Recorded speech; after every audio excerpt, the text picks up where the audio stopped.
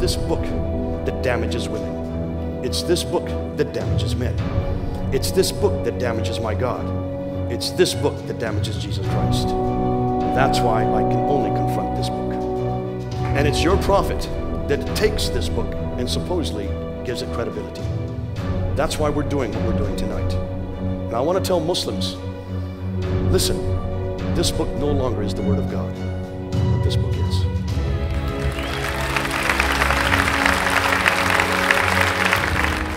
In the Bible, only the four consonants are mentioned, YHWH, and scholars now fill it out to say that Yahweh is the best uh, pronunciation. Uh, now, uh, according to the Bible, this and only this Yahweh is, is God, there is no other.